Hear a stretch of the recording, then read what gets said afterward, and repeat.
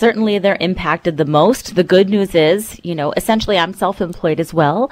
So we understand how to help position our clients moving forward. So we take a look at where they are at right now. We take a look at what the end goal is. And if there's some work to do between now and then, then of course we work together on that.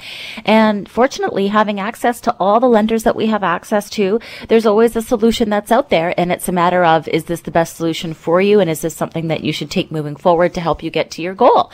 And it's a continual work in progress. Life always is. Relationships always are. And it's no different than your mortgage.